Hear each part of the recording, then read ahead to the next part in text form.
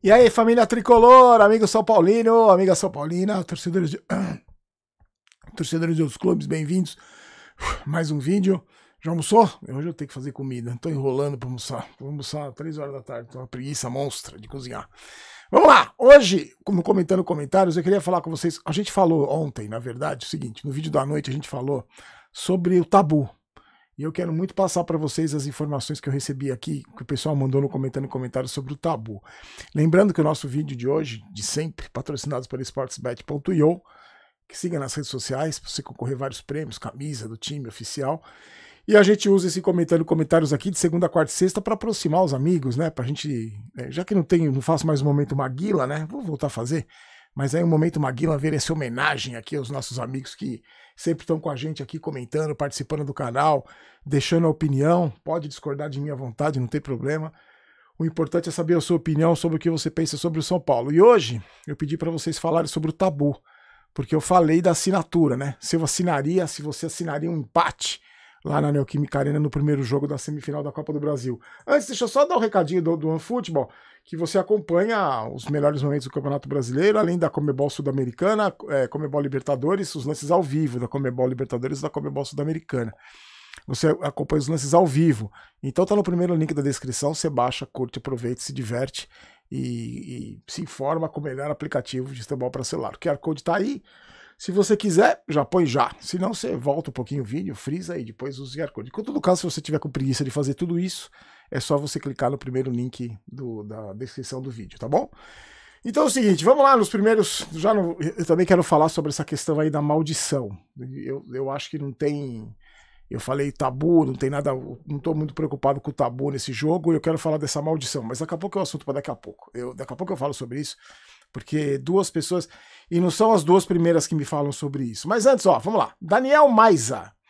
Salve Barolo, acompanho o seu canal há um bom tempo e acho que em nenhum momento nesses anos senti o São Paulo confiante como nesse momento. Não aquela confiança eufórica de outras boas fases. Sinto que dessa vez temos reais condições de passar, porque o time está se mostrando consistente e principalmente unido, praticando bom futebol. Além do que, o Dorival é um técnico experiente que vai levar o clássico a sério. Não acredito em soberba ou que ele vá querer assinar vitórias. Eu separei esse, esse comentário do Daniel porque com certeza ele está se referindo ao Rogério Ceni, né? Que a gente comentou no vídeo de ontem ainda sobre o tabu, naquele jogo que para mim foi o primeiro, melhor primeiro tempo que o São Paulo fez na Neoquímica Arena e ganhando de 1 a 0, dominando completamente o Corinthians. E no intervalo do tempo, o, no, do, no primeiro para o segundo tempo, o autoral, o Rogério Ceni quis fazer assinar a obra, né?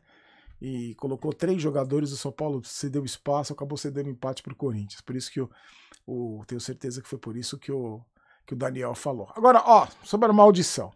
Tiago Deolati e Gustavo Carvalho disseram o seguinte: primeiro, Tiago, acabou a maldição do Tigres.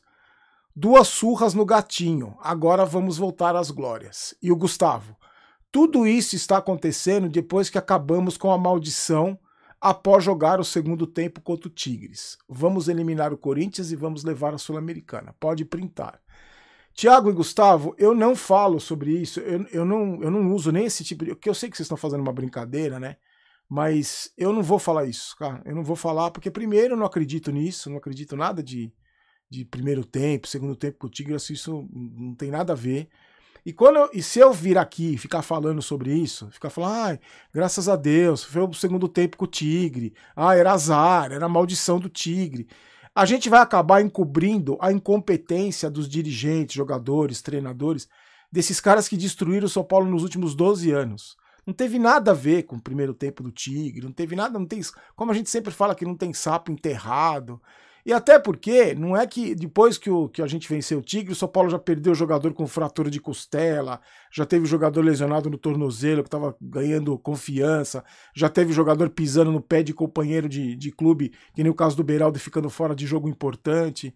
Eu acho que para a torcida é, é legal, ah, brinca, faz essa brincadeira aí. Não é a primeira vez que eu escuto gente falar isso, não é uma brincadeira que é, que é sempre recorrente, né? Só que eu não vou fazer esse tipo de brincadeira, você me desculpa. Porque na minha cabeça, se eu vir aqui e ficar falando, ah, tá vendo? Ah, acabou, era o Tigre, o problema era o Tigre. O problema nunca foi o Tigre, nunca foi o Tigre. O problema do São Paulo nunca foi aquele segundo tempo não disputado. O problema do São Paulo nunca foi que os argentinos fugiram do pau no, no, na Sul-Americana de 2012. O problema nunca foi esse. Então, eu respeito, vocês estão brincando, eu entendo, mas eu não vou falar isso porque não tem maldição nenhuma, não tem sapo enterrado nenhum. O que teve foi muita incompetência que ainda perdura pelos lados do Morumbi, porque não é porque a fase é boa que a gente vai esquecer tudo que acontece de ruim lá, mas eu não vou fazer esse tipo de brincadeira. Eu acho que não tem nada a ver é, eu fazer. Você pode brincar à vontade, não tô. Não sou fiscal de torcedor, mas eu aqui no canal não vou falar. Eu só citei isso porque já não é a primeira vez que aparece e eu não vou. Para mim, a, a, você fala isso, você, você simplifica muito o, toda essa, essa tragédia, todas essas vergonhas que a gente viveu nos últimos 12 anos. Edson Júnior, rapaz, estou confiante em duas vitórias. O time do São Paulo está voando. Temos que ser realistas. É diferente daquele time pipoqueiro de antes. Alguns jogos o São Paulo mostra evolução. Os caras estão com a faca nos dentes. Vai ser muito difícil para o Corinthians. A mentalidade do time é outra. Veja o gol sofrido no duelo com o Palmeiras. O time permaneceu como um time maduro. Creio em duas vitórias. Edson, eu até posso acreditar em duas vitórias. Não é que porque eu assino um empate que eu não acredito em duas vitórias. Eu concordo com você. Só que para mim ainda é muito cedo para falar em evolução, é muito cedo falar em que o time é, já não é mais aquele time pipoqueiro. Para mim ainda é muito cedo, porque a gente teve dois jogos importantes contra o Palmeiras, mas faz menos de um mês que o São Paulo perdeu do Palmeiras no Murumbi por falta de qualidade. Então, para mim, ainda é muito cedo. Eu tô muito feliz, eu comentei no vídeo de ontem. Eu tô muito feliz com o atual momento do São Paulo, tô muito empolgado, vivendo um momento, curtindo o momento. Mas eu confesso para vocês que eu não tô iludido. Eu não tô iludido. Para mim, não é favorito da, do, da Copa do Brasil, não é favorito da Sul-Americana. Ainda é um, é um time que tá me convencendo.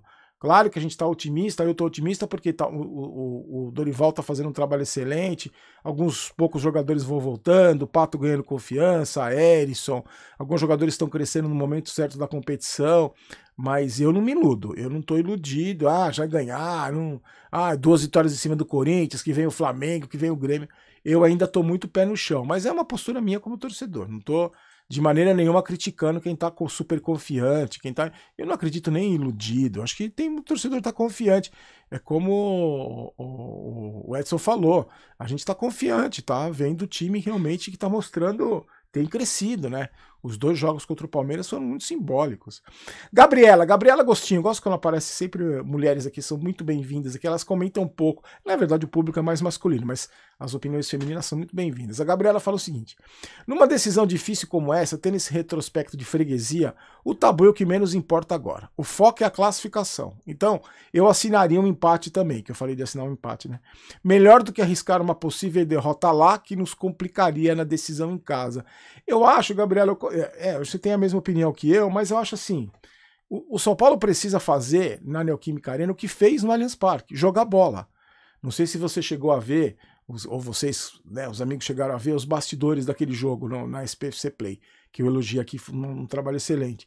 É, o Dorival falando na véspera do jogo, nós temos que jogar bola, nós temos que ir para cima. No vestiário ali antes do jogo, ele fala: para os jogadores, se apresentem, não, não, não medo de, de se apresentar, vamos jogar bola. Eu acho que é jogar bola. O São Paulo jogou bola contra o Palmeiras, por isso que se classificou. É, é, então, jogar bola. Primeiro passo é jogar bola. Eu acho que não precisa de desespero, de ir pra cima, para querer ganhar lá, para ir no. Eu acho que o Dorival vai fazer um trabalho, tenho certeza que o São Paulo vai fazer dois bons jogos. E o Abel Silva também faz um comentário que eu também separei por causa disso. Não é o primeiro que comenta, nem o segundo, nem o terceiro, nem o décimo, nem o centésimo. O tabu na Arena Corinthians não é mais com o time do Corinthians, e sim com a arbitragem. Eu acho que não é. Já faz tempo que a gente tem problema de arbitragem lá. E eu tô vendo muita gente preocupada com a arbitragem. Muita gente teve um lance do, do Renato Augusto muito parecido com aquele no gol contra o América no, no sábado pela Copa do Brasil. No lance muito parecido com o Caleri naquela disputa de bola que o juiz marcou falta, aquele Arleu, aquele horroroso marcou falta. Tá muita, tem muita gente preocupada mesmo. E a gente sabe como ela joga lá. Eu não tô falando que tem esquema, eu não tô falando nada disso. Eu só tô falando que é muito difícil jogar lá, porque existe uma pressão absurda da torcida, dos jogadores, do técnico, dos dirigentes. Todo mundo pressiona a arbitragem quando o São Paulo vai jogar na Neoquímica Arena. E tem muita gente preocupada com a arbitragem. Como a gente ficou preocupado com a arbitragem contra o Palmeiras, e vocês viram o que aconteceu naquele gol que o Daronco anulou, anulou do Caleri, Então, graças a Deus, não precisou. A gente não precisou daquele, daquele lance. Mas é bom ficar de olho, porque eu não confio. Eu acho a arbitragem muito ruim e pressionada ainda a tendência para ajudar os donos da casa é muito grande. E eu tenho certeza que você concorda comigo. Breno Dias, Barolo, foi divulgado que a dívida do São Paulo diminuiu em 100 milhões. Você acha que essa dívida pode ser quitada sem ajuda de SAF? Outra pergunta. Nessa semifinal, caso passarmos, o São Paulo pode estar sendo pode estar inserido nos grandes clubes para disputar os grandes títulos novamente? Breno, vamos por partes. Ó, essa dívida aí que o Casares está anunciando que diminuiu das dívidas bancárias é porque é, o São Paulo pediu um milhão de bilhões de é, vários empréstimos bancários. E aos poucos vai pagando com esse monte de arrecadação, com o público enchendo o Murumbi. Com... E outra coisa, é, eu não acredito é, que possa esse problema possa ser resolvido sem virar SAF. O São Paulo ainda é um clube que deve milhões, são mais ou menos quase mais de 600 milhões em dívidas. É um clube mal administrado há muitos anos. A gente está falando de sapo enterrado, não estamos falando de, de, de que não tem maldição nenhuma. Então não é esse abatimento aí. Faz essa conta desse abatimento se o Anthony não tivesse ido para o Manchester United. Você acha que teria superávit no São Paulo? Não teria. A gente não sabe. Olha quanto dinheiro o São Paulo deve para empresário. Só da, do empresário do Everson lá, o Everton é, são 45 milhões. Faz as contas aí dos jogadores que o São Paulo não está pagando. Se diminui, não adianta nada se diminuir a dívida bancária se você deve para Volpe, se você deve para é, um monte de jogador, desde Jusilei. De, não, adianta, não adianta nada ser para Pablo, para Vitor Bueno, para Daniel Alves. Não adianta nada você diminui dívida bancária, mas você deve para um monte de jogador que você não está cumprindo os acordos. Então, para mim, e eu ainda acho, respondendo sua outra pergunta, acho muito cedo para a gente já apostar que o São Paulo vai voltar a disputar grandes títulos novamente. Eu acho que o São Paulo está numa boa fase, graças ao treinador que chegou e conseguiu virar a chavinha desse mesmo grupo que estava nas mãos de um técnico, para mim, abaixo do medíocre, que é o Rogério Ceni. Outra mulher, Tere Tereza Ferreira de Souza. Não estou preocupada com o tabu. Pode ser um empate no estádio deles uma vitória no Murumbi. Tá ótimo. O São Paulo precisa manter os pés no chão e ir de cabeça erguida, porque o Corinthians costuma crescer muito nesse tipo de jogo. Exatamente. E eu, eu comentei com vocês né, que eu fiquei muito feliz de, de, do segundo jogo ser no Murumbi, não só pelo segundo jogo ser no Murumbi, porque é aquilo que a gente falou, tem muito jogador que nem liga muito para isso, mas de quebrar essa sequência do Corinthians. Remo perdeu fora, ganhou no sufoco nos pênaltis. A torcida já cresce, o time cresce. Atlético perdeu fora, o, o, técnico do Atlético considerava a vitória tão garantida que colocou todas as reservas. O São Paulo, o, o Corinthians venceu e passou nos pênaltis no sufoco. Contra o América, perdeu lá pro América e, e virou e de novo nos pênaltis, no sufoco, do jeito que o corintiano gosta, do jeito que faz o time deles crescer. Por isso que acho que a Tereza tá falando que eles são perigosos e vai quebrar essa sequência independente de qualquer coisa. Aconteça o que acontecer, nós não vamos ter uma decisão por pênaltis no segundo jogo na Neoquímica Arena. Marcelo Oliveira, tomara que quebre esse tabu, que já tá chato, Barolo. O empate eu não acho ruim, mas tem que entrar com sangue nos olhos e, e, sem bola perdida. Falamos sobre divididas aqui antes do segundo jogo contra o Palmeiras. O São Paulo não perdeu uma dividida, ganhou todas as divididas em segunda bola e entrou com mais vontade do que o Palmeiras para conquistar a vitória lá no segundo jogo. Só, só vai conseguir fazer isso com o Corinthians na Neoquímica Arena sem entrar do mesmo jeito. Lucas Gabriel, salve Barolo, tô na expectativa de quebrarmos esse tabu. Eu vou confessar que eu fico com receio que ao invés de o jogador se recuperar, fico com medo de jogadores decisivos se lesionarem. Mas eu não quero ter razão, quero ser campeão. O Lucas está falando isso, eu separei o comentário dele porque eu falei que a gente fez o Joga Fácil, né? Aliás, hoje a gente tem Joga Fácil, 15 para as é, 8 da noite. É, eu, falei, eu comentei que a gente fez o Joga Fácil segunda-feira e alguém comentou lá no chat que o tempo poderia ser a, a, ajudar o Corinthians porque o, né, os jogos vão ter um espaço, um espaçamento, depois da semana que vem vão ter 15 dias, e o tempo poderia favorecer o Corinthians, que vai ganhando força e tal. E eu falei que o tempo poderia ajudar o São Paulo, com jogadores se recuperando, Pato entrando em forma, Aires entrando em forma, o Wellington ganhando ritmo de jogo, Gabi se recuperando, Bernardo se recuperando. Por isso que o Lucas está falando que ele está mais preocupado de jogador se lesionar. Mas isso pode acontecer, né? Jogador se lesionar pode acontecer.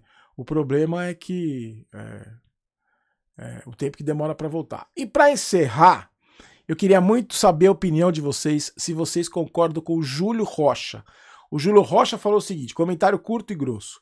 O único tabu que eu quero quebrar agora é ser campeão da Copa do Brasil. Deixa o Daniel Química Arena para Sul-Americana ou para o ano que vem.